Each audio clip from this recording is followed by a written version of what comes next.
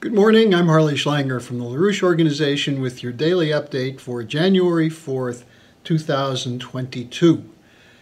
Well, as we've been discussing the strategic situation on the need for a breakthrough, we're seeing some fairly interesting developments, uh, including a statement issued by the UN Security Council Permanent Five members that was posted on their websites yesterday, the five nations.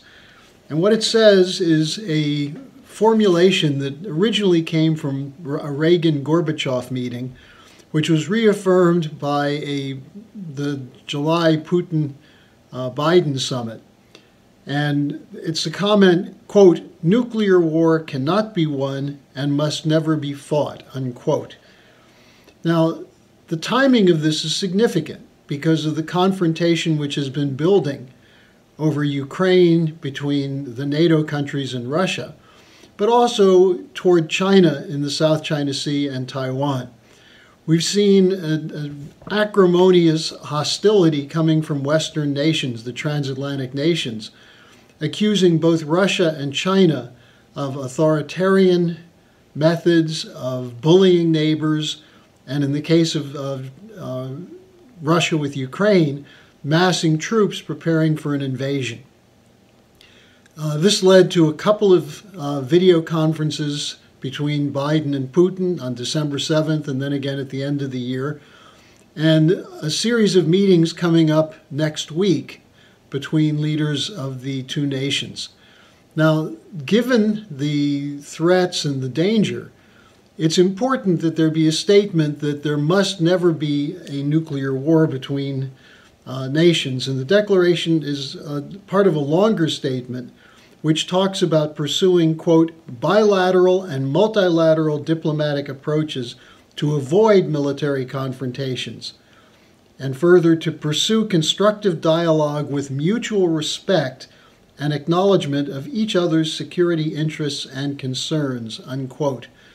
This is significant because Putin has insisted that the United States and NATO must recognize security concerns of Russia regarding the encroachment on its territory of NATO forces moving into Eastern Europe and Ukraine. So the fact that there's an acknowledgement that on each side there are security interests and concerns which must be taken into account as part of a dialogue process, this is a step toward possible resolution.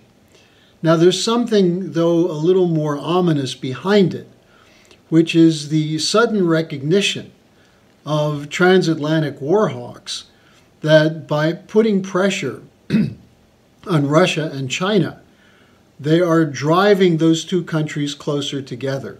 In other words, they see this as a geopolitical problem, that in order to blunt what they see as aggression from Russia and China, which, as we'll get to in a moment, is really not aggression at all. But in order to stop that, you cannot act in such a way that pushes those two countries together into a military alliance.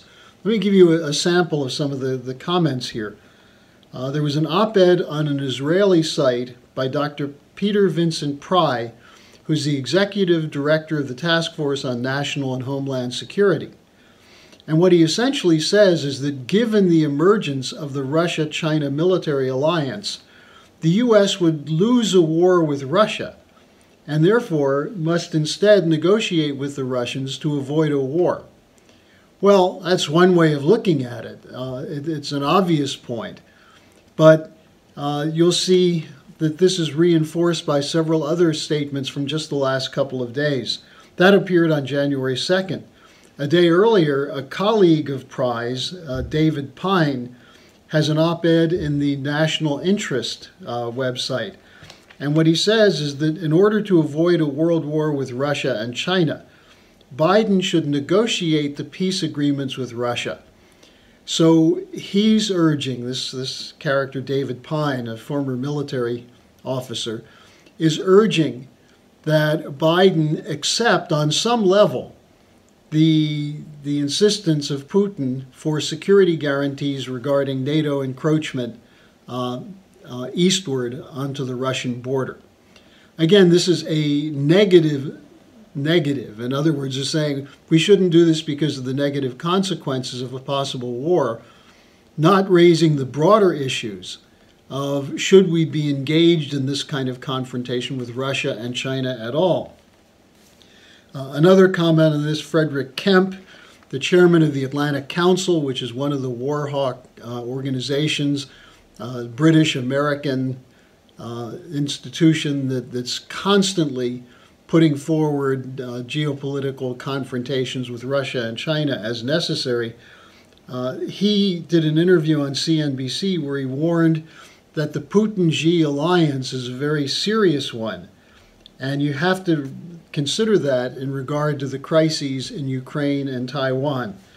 Then on January 2nd, the Wall Street Journal had a lengthy article talking about the danger of a Russia Moscow uh, Russia Beijing alliance. And the ultimate point in the article is that we have to split Russia and China from each other. And they suggest the way to do that would be to soften the approach to Moscow in order to pull Russia away from China. And again, this would include some kind of agreement on Ukraine. Now, in all cases uh, that I've just mentioned, these are essentially the works of geopoliticians. They're not based on a, a method by which you can achieve a lasting peace. Uh, they recognize, on the one hand, that by threatening Russia and China, you are pulling them closer together as part of a military alliance. And that this would be a problem because together they're stronger both economically and militarily than the transatlantic powers. Uh, and, and therefore, uh, if there were a war, it would either go to full scale nuclear war, in which everyone loses, or if it was a conventional war, the West would lose.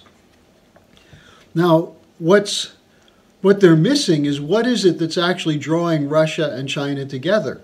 Not the threats from the West, but the impetus for economic integration of the Eurasian continent, which is the intent of the Belt and Road Initiative, which is really the, the idea that Lyndon LaRouche put forward back in 1988 89 when it was clear that the Soviet Union would collapse and LaRouche's proposal was for the West to work with Russia and China for full scale economic integration, not just in Eurasia, but between Eurasia and Western Europe.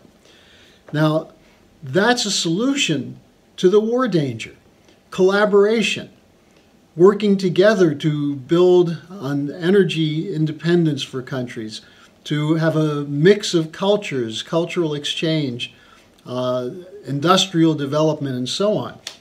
But that's unfortunately what geopoliticians fear. Geopolitics is essentially the uh, based on the uh, the fear that the power of the West depends on subordinating most of the world to the terms of trade and the rules of engagement of a unipolar world. This is what it was when Mackinder introduced it at the end of the 19th century. This is what led to two wars in the 20th century. All the regional wars since the end of World War II, all have been based on preventing alliances of nations of Western Europe with Eastern Europe into Eurasia, connecting with China and Russia. So the idea of preventing an alliance in the heartland, which was Mackinder's language, is what's driving geopoliticians today. So they're their concern is that if you have a Russia China alliance, it will uh, squeeze out the power or cut back the power of the City of London and Wall Street to loot the rest of the world. So that's what their fear is.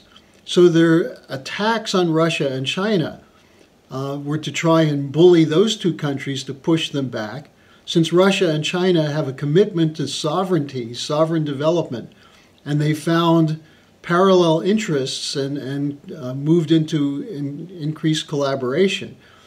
These Western geopoliticians are now saying, what can we do to break up that potential alliance? So in, instead of seeing the, uh, the, the potential for peace, they're trying to figure out how to continue with the goals of, of the unipolar world. Now, why not instead join in the development of Eurasia? For example, begin with the reconstruction of Afghanistan, where the United States could be a partner with Russia and China through something called the Extended Troika, where there's a humanitarian catastrophe which is emerging in Afghanistan. It's, it's not just emerging, we're actually in the midst of it. Why not work together to show that we can cooperate to resolve these kinds of confrontations and crises, especially in a place which is the center of what was called the Great Game, going back to the middle of the 19th century, the Russian British competition over Asia. How about reconstructing Iraq, Syria, Yemen, Libya? These are countries that were destroyed because of the regime change operations run by the unipolar powers. How about development of Africa, working with China instead of attacking China for working together with African nations to build up transportation, energy, healthcare systems, and so on. So forget the Green New Deal. Dump the Great Reset. The problem is the Western financial system is bankrupt, hopelessly so. As Lyndon LaRouche has been pointing out since the shift occurred in, in 1971 into a consumer driven free market economy based on looting of the developing sector, based on speculation and the destruction of the physical economy. Let's junk all that, cancel the debt, move with LaRouche's four laws for global financial bankruptcy reorganization. Cancel the debt. It's, it's gambling debt. It's worthless. It will never, ever be repaid. Instead, implement Glass-Steagall banking regulation and Hamiltonian credit institutions, which will fund the development of modern platforms of infrastructure and especially research and development into the frontier areas of science where the future, uh, which, on which the future depends. That's why Helga Zepp LaRouche said we must make 2022 the year of LaRouche. It's the 100th anniversary of his birth.